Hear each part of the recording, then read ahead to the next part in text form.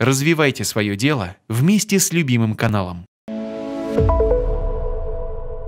Власти коммунистического Китая продолжают кощунственно обезглавливать и обезличивать мечети. Культовые сооружения преображают до неузнаваемости в рядовые здания или вовсе подрывают. На этот раз жестокая участь постигла историческую мечеть города Синин, построенную в XIV веке. С мусульманской святыни сняли огромный зеленый купол, а также были демонтированы минареты. От аутентичной архитектуры не осталось и следа. Теперь мечеть выглядит как обычное административное здание, и ничто в ее облике не вызывает ассоциации с исламом. Внимание к вопиющим преображениям мечети привлекла замглавы дипмиссии Великобритании в Китае Кристина Скотт.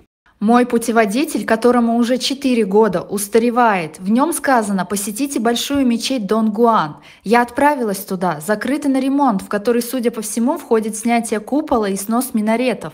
Также Скотт разместила фотографии еще одной мечети, с которой, как она заметила, убрали полумесяцы. Британский дипломат Кристина Скотт отмечает в Твиттере, что большая мечеть Дунгуань в городе Синин теперь выглядит как обычное здание и вовсе неприметно. Сообщается, что за последние несколько лет в Синьцзян-Уйгурском автономном районе более 20 мечетей частично или полностью снесены. Известны случаи, когда мечети переоборудовали в отели, танцполы или даже строили общественные туалеты на месте разрушений. Сносу подвергаются и мусульманские кладбища, а более миллиона последователей ислама содержатся в концлагерях и регулярно подвергаются пыткам.